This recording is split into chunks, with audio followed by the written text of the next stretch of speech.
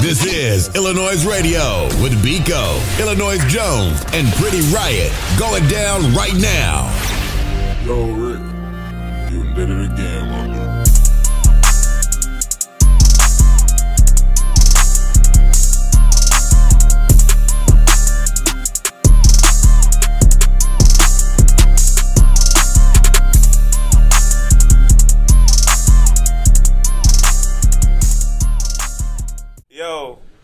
state your name. Hi.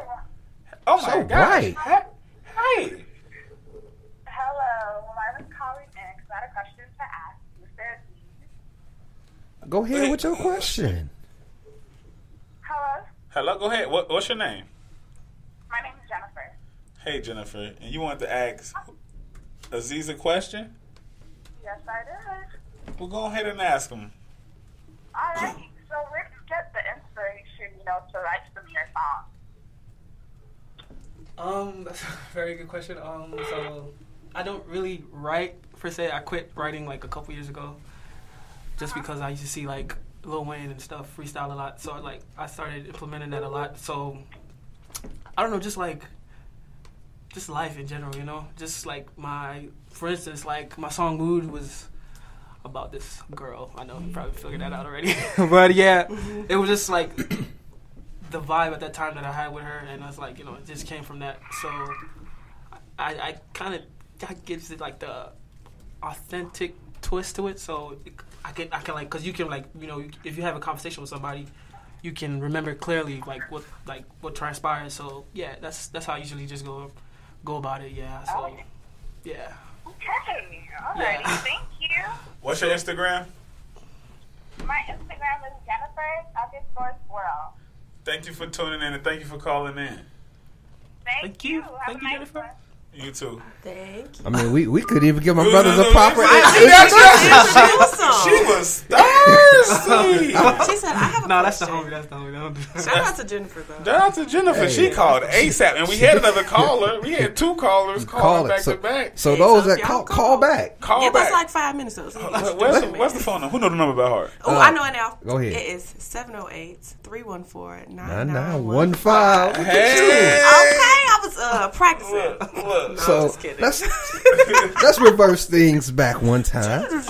So as always, we bring you guys the illest guests in town and around and globally, you know. And today's special guest that's bringing the illest noise is the homie Aziz. How you Bruh, doing? bruh, bruh, bruh, I'm doing good. How you How you all doing, man? I just want to tell you for a whole week we've been calling you Aziz. they, they have been calling Oh me. man. We just be like, yo, we I feel like your interviewing name is Aziz. No comment. Yeah, I've, I've heard. I've heard it all, man. It's okay. I've heard it So, all. are you mixed? Like, uh, Oh no, I'm just Nigerian, man. Nigerian? Straight up Nigerian. I mean, not you, not born- just Nigerian. That's I mean- powerful. Yeah, you know, but yeah, I was born here, but then I went back to uh, Nigeria for high school and all. So I left when I was Oh. about like seven. Okay. So yeah, and I came back in 2012, and you know, we were riding this musical journey since then. So Like So so. how was Go ahead. oh, cause how No, was ahead. high school in Nigeria? Because I mean, I clearly went to high school in America. So Yeah. What's the difference? what's the difference? what's the difference? well, dang, you didn't Man, really go to high um, school in America Oh, uh, to kind of know. Geez, a lot of discipline, and it was even way worse for me because I went to a military school. So that was like. Wow. that was an experience. But yeah, we look back we look back at it and laugh. So yeah, that's What's the hip hop scene like in the underground scene like? so Like in high it's school? that in high school or like It just, Nigeria? it's in Africa. okay. So I feel like Nigeria per se we don't appreciate rappers as much, mm. but we have a lot of lyrical like you know because like everybody like in Nigeria that we're more more focused on the like the whole Afrobeat scene with Wizkid and Davido's like the front runners, and we obviously have like people like Kiss Daniel. It's a whole bunch of.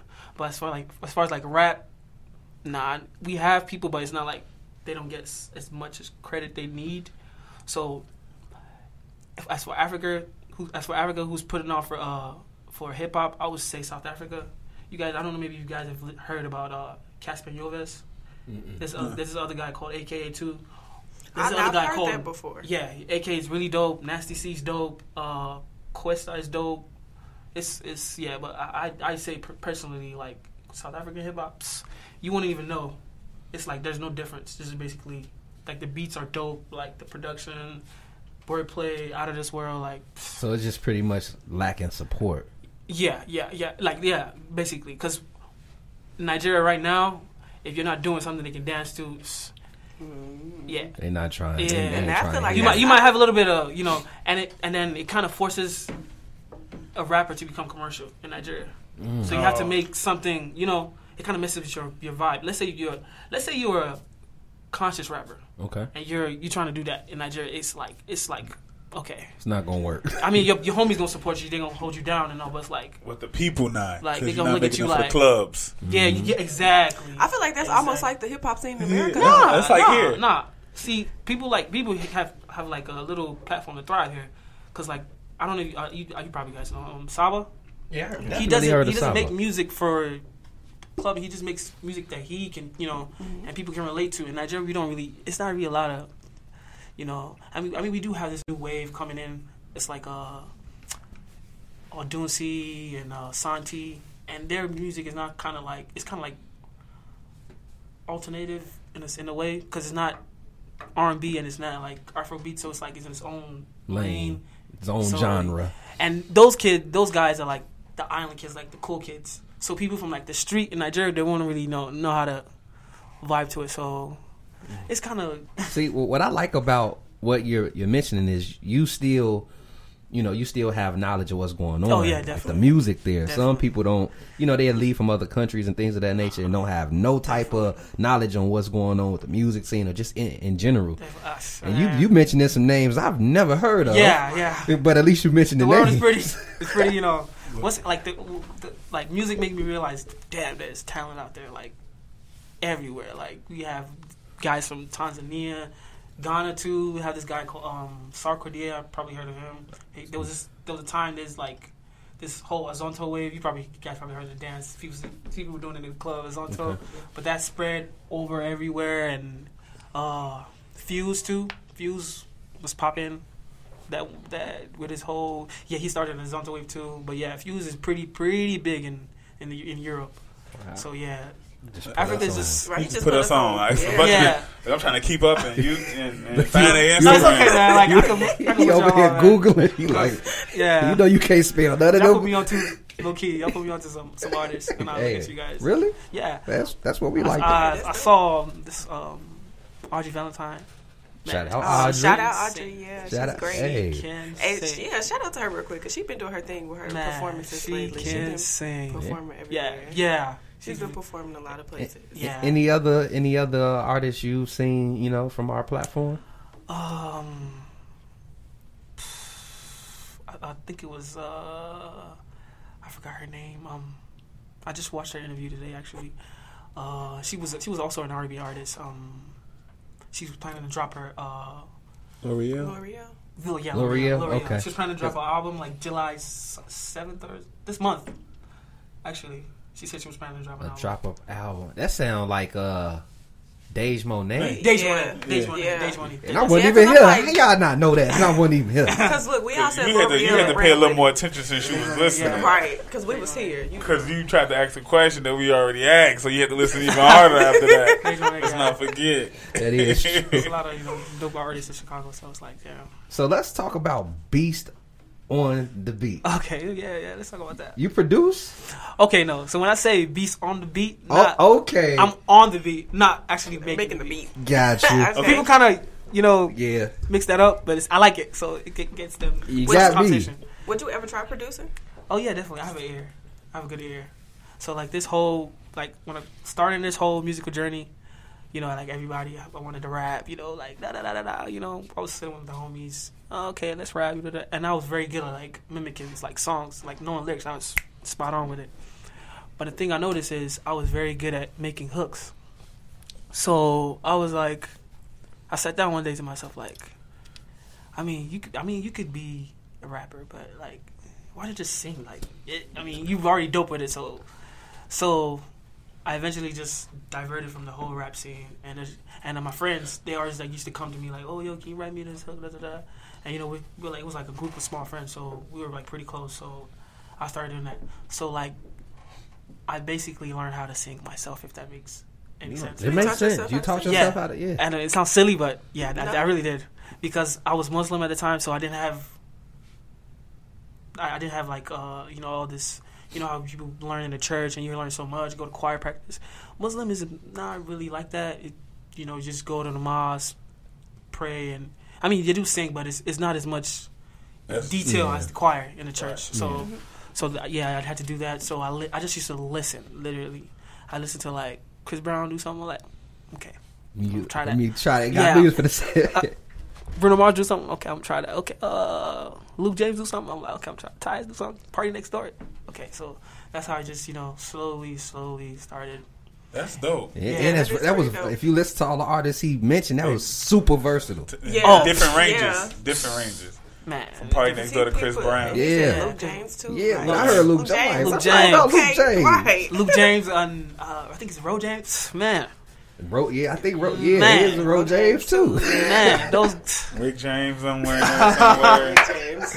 Yeah, was man, Rick James man. technically a singer? Yeah. Yeah, Yeah, he, he was he singing. was He was Mary Jane. Yeah. That's singing, Yeah. girl. Yeah. Yeah, that was- that was He just Fire and Desire. Get that phone, yeah. Fire and Desire. Yeah, Yeah, that's true. Yeah. That's true. All right, you know my age just showed. How old? I mean, you seen Baby Boy before. Yeah. so you know what? We we actually let's get into a quick music break, and um, this music break we gonna play real one, my brother. First of all, But- Bekoe been talking about this song since I walked in. He walked in and he said, "Hey," he said, "Did you hear real one?" I'm gonna tell you something funny after the break. Oh, oh, hey, I was gonna say actually, sh- you want to share right Oh, now before we yeah, get into it? That was actually like the I think that was the least liked song by me. That was your least like. Yeah, I really. No, I actually like that song. I was very like I was like oh, oh, okay. I think that's every artist. But then again, we we knew It's it's like every artist. it was like it was gonna be like a girl's favorite song. I know a couple girls. Like, oh, it's I a love male this. favorite songs too. Look, look, he left. He felt, first he he felt left out. He like, hold on, see, I like it too. man. Yeah, yeah, yeah. Bruh, but yeah, this it was is the least favorite. joint right here. Yeah, somebody said Azizz. Wow, you touched me. I know. What- was it? I'm like, uh, okay. Was it uh, the caller? Oh no, no, it was someone else. It was some, some girl. Yeah. Well, let's actually get into real one right now here on iLLANOiZE via Logik Radio. Don't go nowhere.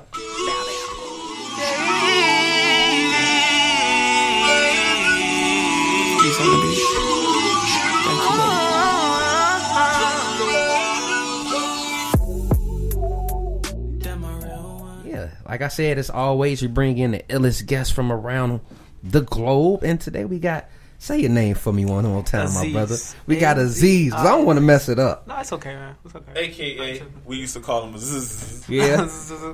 now we got it. We got it locked in. Is I mean, is that that is your your is that your government?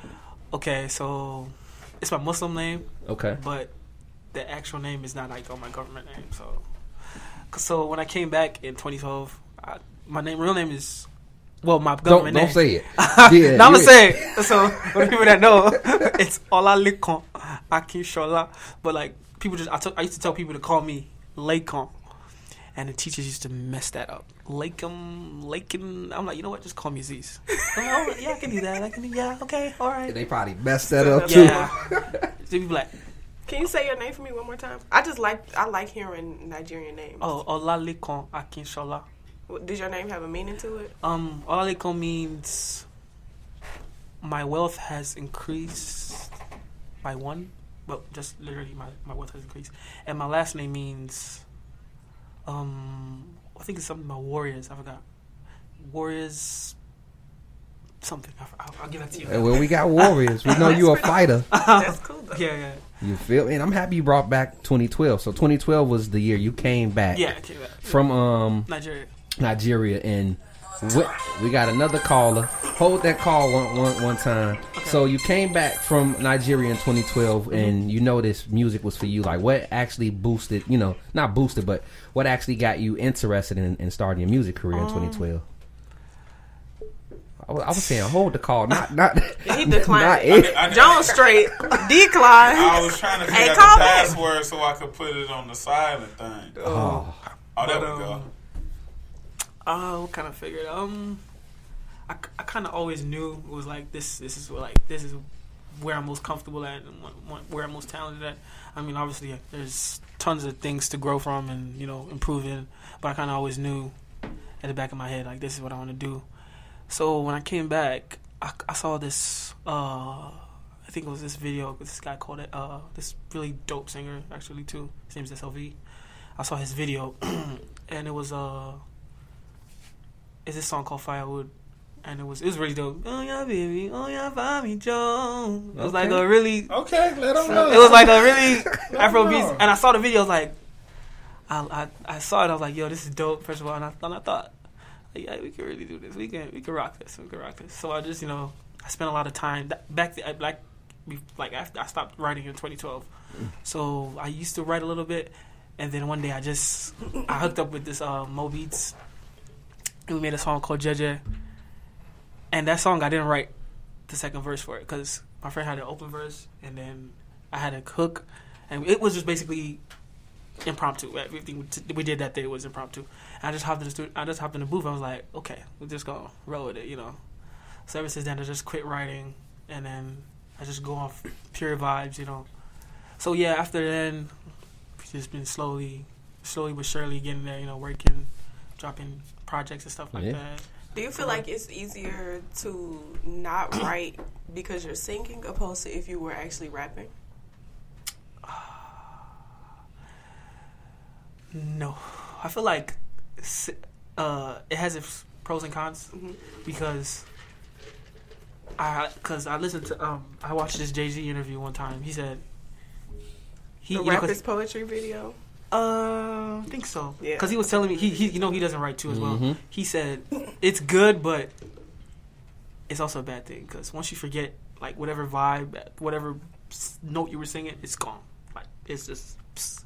So he said he's created a, a whole new generation of bad rappers. I don't even hear him say that like in a joking way because like he be like obviously if you uh, like as rappers you have to practice practice and practice makes perfect and Yep. he believed that writing constantly is only going to get you better and better and better and better and better and better so as for singing i don't know because you know we have like these days we have like a lot of dope singers you know chris brown shout out to chris brown and the rest they don't really write most of their songs Yeah. so not to discredit Yeah, I any type of understand. way, but it's like you know we have a lot of songwriters so it wouldn't it, it, it doesn't matter as much. I don't I don't if I, if that makes sense. So I guess it's about the same level. So because like there's I forgot like tons of stuff. Like damn, I be, I be sitting and sitting and trying to remember like oh how did I sing this? That's why my uh, voice recorder is like my best friend. Like Mm. it has Yeah. everything. I hope for those listening, take because that's true. That's Yeah, that's, the. That's the best way to, to remember, Yeah, uh, you know, what's going on. yeah, yeah. It's my best friend. So,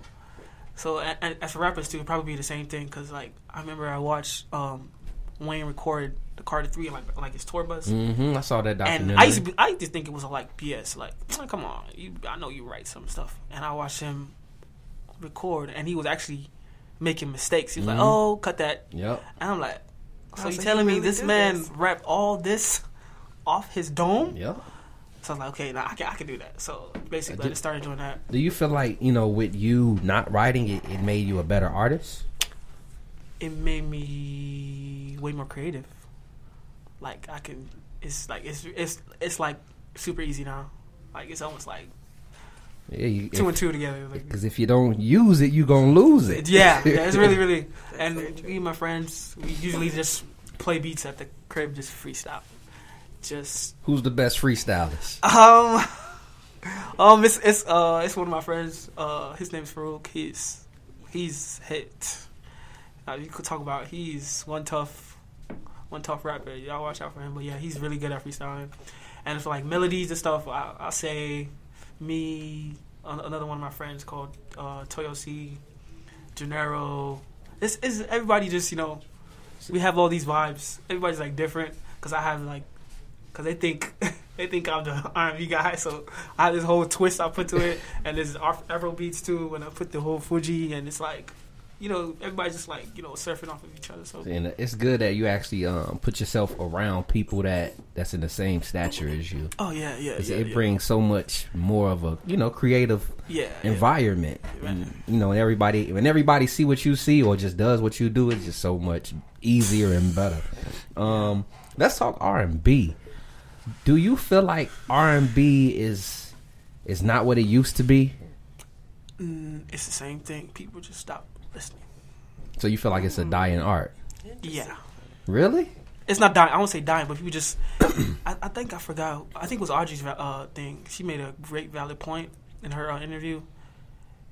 It's like a rap rap dominated culture Industry. right now. Mhm. So it's like people be like, "Oh, R&B's dying out." Um, no, it's not. It's really there. You're just not listening. I think BJ true. Chicago kid is there. Tyus is there. PARTYNEXTDOOR is there. Bryson Tiller is there. Uh, Luke James, Ro James. Uh, uh, it's it's so much. Br- Br- Brent Faiyaz, um, SZA, uh, Daniel Caesar. We could go on and on. But are you listening? Yeah. That's the that like because you know we're so embedded in this whole 808s and you know melodies and you know the trap Yeah. trap like that's a whole nother thing. So we, people people are really really into that. So we kind of people don't really want to you know. I mean people that love it love it. That's why you have like that's why you have to be versatile. That's big facts right yeah, there. because like people like Chris Brown, he can make a bedroom song easy, and he can also make wet, wet, wet, wet. and he can you know he he can do anything. Chris Brown can any do any dancing. Yeah. Any. Any- yeah. So I see. He what- dance. You could kind of He act paints. and die, die real quick in movies. Yeah. Oh, okay. You say what? No shade, because that's my husband. I said, and he can act and die real fast Direct movies. videos, paints. He can do it. He can do it say all. die real fast. Yeah. 'cause, I mean, He you can do it all. No shade to Um, Chris Brown. I Like he can do it. Like that man is a genius. Like What I will I want to ask you like, what's your ultimate goal? Um, what's your ultimate goal for your your career? man, it's a lot. I want to do so much. What's the wanna- first thing that come like? What's what, what's the first thing that come to your mind that you absolutely want to achieve? Um, first thing comes to my mind is global domination. Global domination. Yeah. That's good and answer. then I want to actually, cause I I really like I I have a lot of like Afro beats, you know, vibes and Afro pop and you know stuff like that. So I want to, cause people like people use I used to do a lot like a lot of Afro beats, like all my older stuff, like you know dance hall kind of Afro beats. Mm-hmm. So when I came with this whole project, this move, we're gonna get into that. I know you said that. Yeah. But when I came with it to this project, a lot of people looking at me like. what is this? you, you, you can really do this? Like, you can really sing? Like, uh, yeah, I was like, yeah, I just, you know, some people didn't believe it. Like, nah, this is not, like, get out of here. Like, no, like, nah. Because, you know, the whole Afro beats, it, it kind of like, I won't say it dumbs down my talent, but it's like, Whoa. it's like, How would you? It- how how how so? because Afro beats right now, kills me to say this. It kills me to say this, but some of the lyrics are very, very cliche. Mm. So it's too easy for you. okay. I'm just gonna put it like this. Have you you know how you listen to a, a trap song and you hear like I'm gonna do my day, I'm gonna do my day, I'm gonna do my day, I'm gonna do my day. You know it's like predictable. Yeah. Afro beats we have like oh baby oh Mami Joe, get down low, something like that. Oh, so it's like yeah, that's it's the like opposite It's of the- repetitive. yeah, Yeah. it's very repetitive. Okay, I got But you. people are They love it. they they love it. They don't care. booty shaking, they don't man. care. I mean, look look at the They mumble don't rap. care. People love Right, they don't rap. care. Like Wizkid, like I love Wizkid. I love David. Well, I think Wi- Wizkid has some songs that he's just like, "What's going on, bro?" like, like I know, he, and then, and then I, I kind of from just from looking at like some of his songs, I know he freestyles a lot. Mm. So I like okay, and then some songs you like, whoa, like you know his his well like the whole clump. I, um, fun fact, I don't know if you guys heard uh, "Clump Closer." No. Baby, come closer with Drake. Oh Yeah, yeah, yeah, That was, that was on yeah, More Life. yeah. Uh, it was no, it wasn't a more life. It was like a What? song.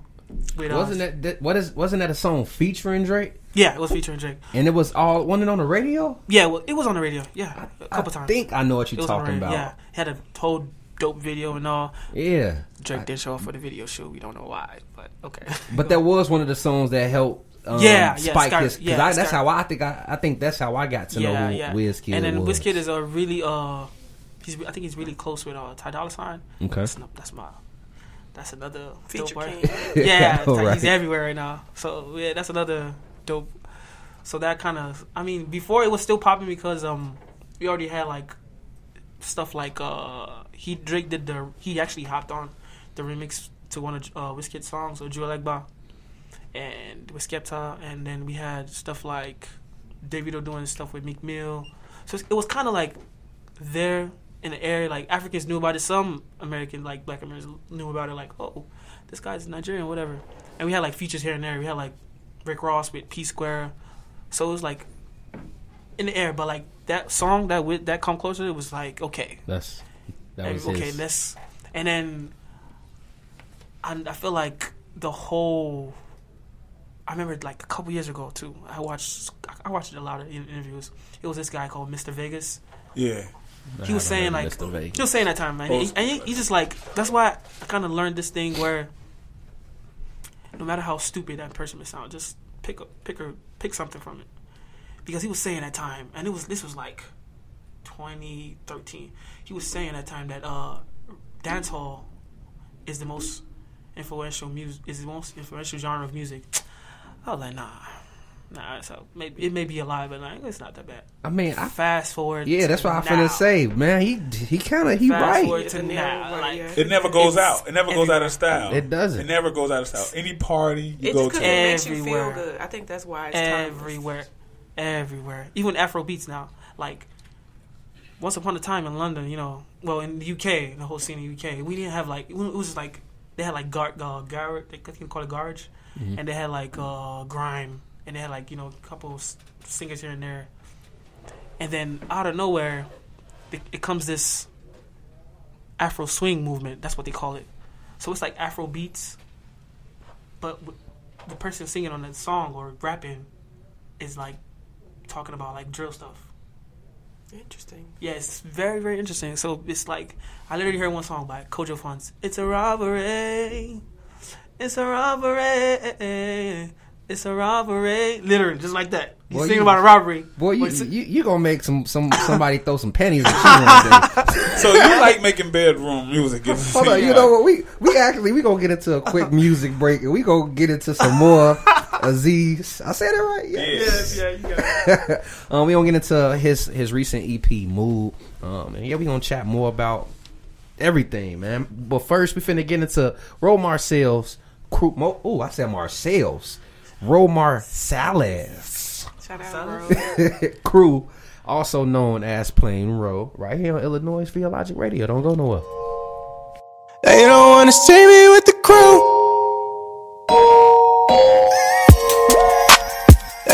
wanna see